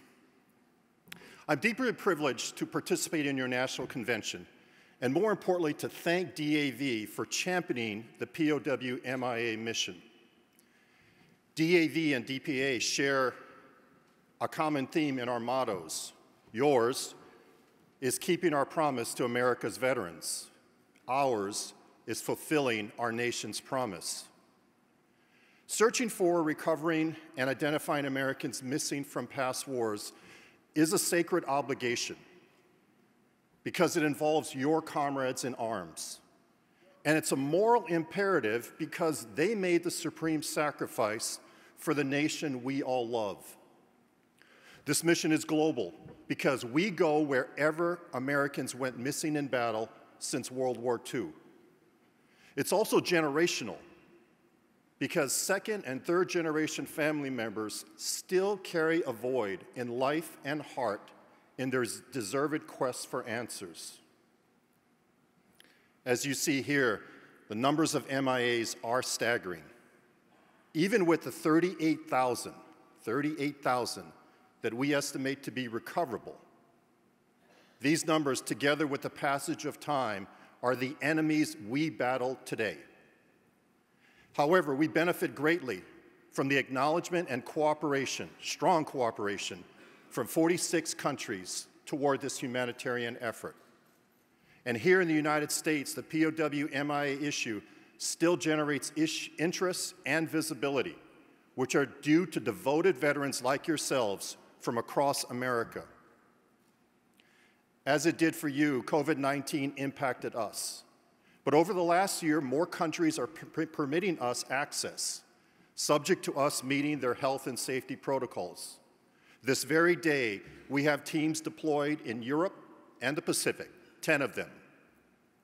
In total, this year, we will have deployed 100 teams to 36 different countries.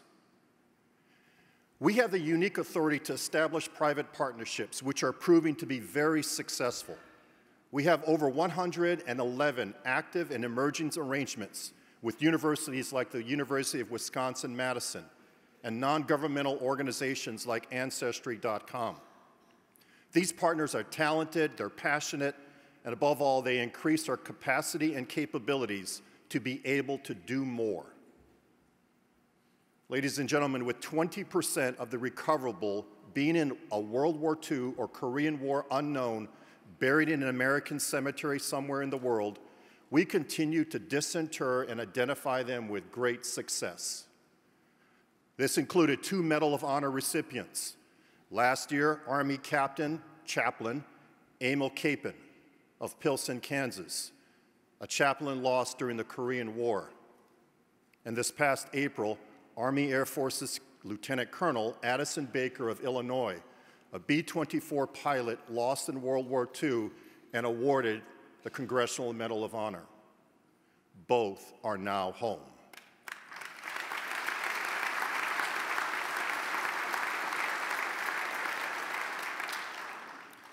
You may recall the 55 boxes of remains North Korea turned over to the United States in 2018. The first fulfillment of a commitment they made to President Trump.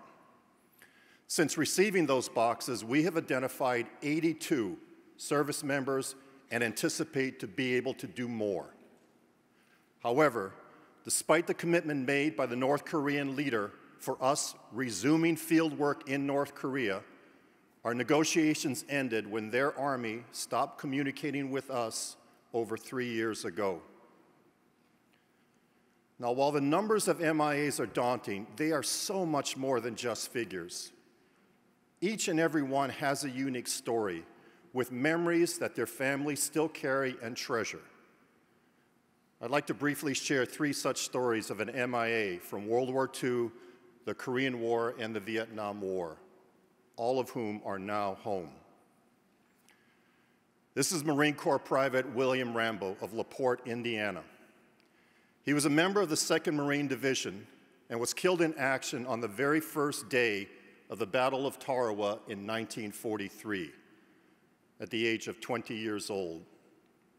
He was buried in a temporary cemetery that was lost for decades when Navy CB battalions constructed an air base on the island. One of our private partners, History Flight, found and excavated several of these burial trenches several years ago. We identified the remains of Private Rambo in 2019 and the Marine Corps notified his nephew and niece. They are children of Private Rambo's younger brother. Seen here in this picture, they brought together 23 family members for his interment at Arlington National Cemetery. Many of them had lost touch with their relatives or did not even know they were related. They described the internment as giving new life to their family. Then there's the story of Army Sergeant Roy DeLauder, a member of the 7th Infantry Division. He was 21 years old when he was killed and declared missing from the Korean War in the Battle of the Chosin Reservoir in December 1950. This past January, we identified him from among the 55 boxes North Korea had turned over. His remains actually came from two boxes, number 27 and number 41. This year, on the April day he would have turned 93 years old, the community of Smithsburg, Maryland turned out en masse to welcome him home and bury him home, bury him with full military honors in Hagerstown, Maryland. The ladies you see here are his two daughters, who were three and almost two years old at the time he went missing, and his three younger sisters, who today are all in their 90s. Sergeant DeLauder's older sister, Evelyn, said, Knowing Buddy is at rest next to our parents and our younger brother brings us such comfort. Last but not least is Navy Commander Paul Charvet, who hailed from Grandview, Washington. He was an A-1H Skyraider pilot and was shot down in 1967 in North Vietnam at the age of 26. Ladies and gentlemen, this was his third combat tour in Vietnam, and sadly, he was to return home the very next day after his fateful mission off the USS Bonhomme Richard. At the height of COVID restrictions, a Vietnamese team trained by the U.S. a decade earlier recovered his remains, which we identified last year. Here's what's incredible. His mother, Blanche, is 101 years old. And his two sisters were 22 and 24 years old when he went missing. After a Navy Honor Guard moved his remains from an Alaska Airlines 737, 737 to a waiting hearse, his sister Lorraine, who you see here, stepped forward to hug her big brother. She said, Even when I saw the casket, it was just like, That's really you, Paul. After all these years, welcome home. Distinguished DAV members, these are just three of many examples of why this noble mission matters and how your awareness and advocacy enable us to provide MIA families with answers they have long sought. The fact that the United States of America vigorously searches for, finds, and recovers and accounts for our MIAs from World War II through Operation Iraqi Freedom is the right thing to do. It's the fulfillment of a promise made to those who made the ultimate sacrifice and to their families. Since they are unreturned veterans, it's also a commitment to you, their comrades in arms, and those in uniform today that they cannot left, be left behind. Two years after the end of World War I, then Vice President Calvin Coolidge said this The nation that forgets its defenders will itself be forgotten. The nation that forgets its defenders will itself be forgotten. Ladies and gentlemen, I can assure you that the Department of Defense has not forgotten. But I also thank again the DAV for also not forgetting. In keeping your promise to America's veterans, you also help fulfill the promise made to those veterans who have not yet returned home. May God bless each and every one of you. May He bless our MIAs and their families, and may He shed His grace upon the DAV and our great country. Thank you, Gerald. Thank you.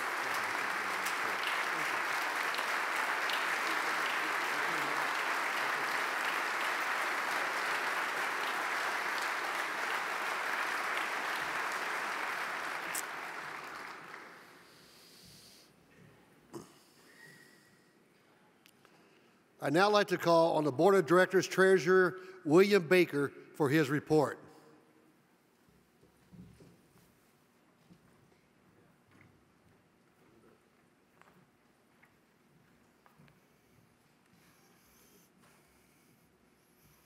National Commander Marshall, fellow members of the National Executive Committee, DAV members, guests, good morning.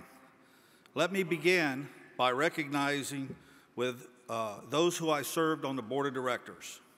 First, Chairman Stephen Whitehead of Minnesota, Vice Chairman Joseph Parshetich, Montana, Secretary and National Adjutant Mark Burgess, Director, National Executive Committee, uh, National Executive Committee member, 20th District, Charles W. Edwards Sr. of Texas, Director and NEC 7th District, Floyd Watson Jr. of Wyoming, and Director and NEC 7th District, Frank A. Chicolo of Florida. It's my honor and privilege to present the report on the financial affairs of our organization for the six month period ending June 30th, 2022. DAV's total fundraising support through that date was a little over $51 million. Contributions were in excess of $40 million, and bequest was just under $11 million. Under the department fundraising program, payouts to the department in December 2021 and 2022 totaled about $3 million. Since the program began in 1994, almost $113 million have been distributed to departments for their service programs. The board would like to thank all of our departments for their continued participation in these programs, especially our members for their continued generosity. As of June 2022, DAV has received a total support and revenue from all sources of roughly $36 million. The total support and revenue is greatly affected by the negative securities market performance over the first six months of this year. Our investment portfolios, investment policy statements to guide decision making, especially during a bear market. We plan to stay the course of our long term investment strategy and do not intend to realize these current market declines by prematurely selling securities. Also, through June 2022, DAV had a total expenditure of $134 million, of which $110 million were for service programs, which is 82% of our total expenses. Over the same period, fundraising expenditures, roughly $19 million, were $3 million more than through June 2021. Administrative outlays were a little less than $5 million. As of June 30th, 2022, the market value of our general fund long-term investment portfolio is roughly $432 million.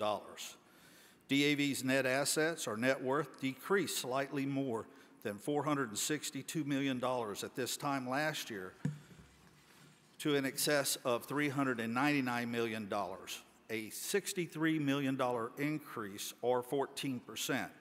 Again, the security markets has been extremely tough on everyone this year, and we're looking ahead to better days while maintaining our investment portfolio and our discipline. On June 30th, 2022, the Life Membership Fund reserve was approximately $47 million. Commander, it is my privilege to present DAV's proposed 2023 annual budget for ratification by the convention. At the May 26, 2022 board meeting of directors, the board presented the 2023 proposed budget. The board unanimously approved the proposed budget at that time, a copy which has been provided to all convention attendees at registration. I would like to thank National Adjutant Mark Burgess and his staff for their hard work, which made this report possible. Let me thank you, Commander Marshall, for the, the support I received in my role on the board of directors as treasurer. It has been a privilege to hold this position. Commander, this concludes my report to the National Convention. I feel a report, I feel honored to offer our delegates and thank you for the adoption. I thank you and move for the adoption of the report and approval of the proposed 2023 annual budget. Thank you, Bill, for your service and that very informative report. I have a motion. May I have a second? Mike Four. Mike Two. Mike, Mike Four. Uh, Warren Tobin, Chapter 31, Department of North Dakota, proudly seconds that report, that motion. All those in favor signify by saying aye. aye. Oppose? So ordered.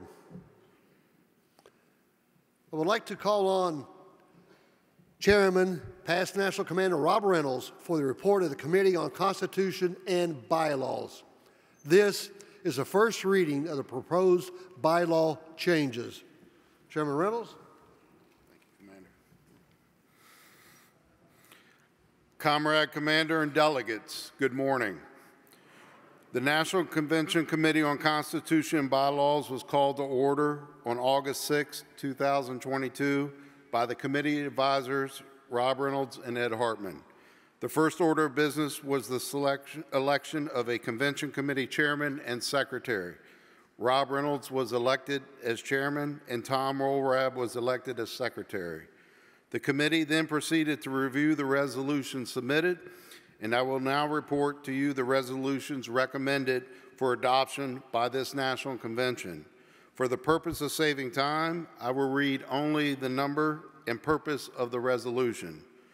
Resolution number one, allow DAV chapters to conduct routine meetings of the governing body using virtual platforms, but continue to require in-person participation of delegates and alternates for department and national conventions.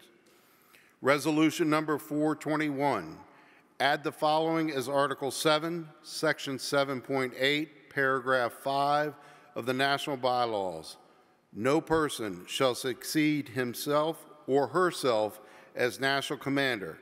This is already ratified in DAV's Constitution. Resolution number 422, delete Article 14, Section 14.5, Paragraph 3 of the bylaws.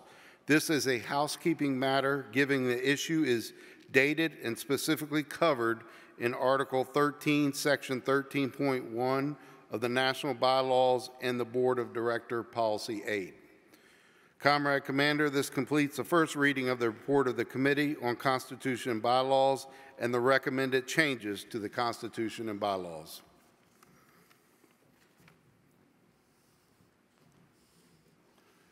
Thank you, Rob. There will be no action taken at this time. We'll hear the final report of the Constitution and Bylaws Committee at the final business session on Tuesday. National Adjutant Burgess, do you have any announcements? Thank you, Commander. Immediately following this session, join us for a quick snack break sponsored by Heroes with Hearing Loss. Please head outside the ballroom to Regency Tea Foyer where you'll find some delicious refreshments. Thanks to our friends at Heroes with Hearing Loss for their generous support. The My Journey workshop for women veterans takes place from 3:45 to 5:45 p.m. in Regency Ballroom T through U. This goal and action plan creation workshop will help women veterans envision and plan for significant life events pre and post separation and offers women veterans the opportunity to connect with and learn from their fellow sisters in arms. Join us right here in the Regency Ballroom for Fun Night tomorrow at 8 p.m. for the return of Gary Sinise and the Lieutenant Dan Band. This year's concert is sponsored once again by our good friends at TriWest, who've generously donated to bring Gary and the team back to Orlando to perform. We'll be trying to get as many people through as possible in a short time we have, so please be courteous to others and make an effort to keep the line moving. Don't forget that today at 4 p.m. is the cutoff for you to make reservations to attend the line officer dinner. You'll need tickets to enter, and there will be assigned seating. Our regular business will begin again Tuesday morning at 8:30 a.m. We'll start off with committee reports, including the final report of the Constitution and Bylaws Committee. We'll hear reports on the Charitable Service Trust, or Charitable Service Trust, and the National Service Foundation, plus an update on our memorial in Washington D.C. All who wish to donate to any DAV entity in the interest of time, are encouraged to fill out the donation form in your bags before making your way to the donation space at Regency Counter 3, located near the will call on the convention level. On Tuesday afternoon, we'll hold our final business session and conclude with the nominations and elections of our national officers. And again, we're giving away three $50 gift cards that can be redeemed at the DAV store online or here while you're at convention. You must be present to win. If I call your name, please come to the stage and see Membership Director Doug Wells. Winner number one, John Higginbotham, Pennsylvania, Lehigh Valley, Chapter 7. Erie Beard, Tennessee, Nashville, Chapter number 3. And Angel Lopez Comas, Puerto Rico, SFC Luis Morales, chapter number three. Commander, that's all the announcements I have.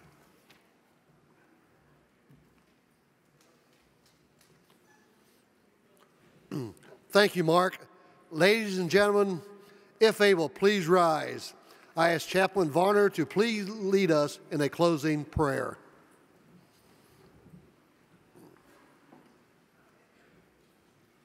Thank you. Let us pray. Almighty Creator, our Lord, our God, help us to be reminded as we leave this place that you're the one that has love for us and has expressed it in so many ways. And as we depart from this place, never for your presence, help us and teach us to walk in wisdom and knowledge, that we'll always be the great and the better thereof. These and all things we ask and believe by faith. And the people said, Amen. Amen. The convention stands in recess until 8 a.m. Tuesday morning.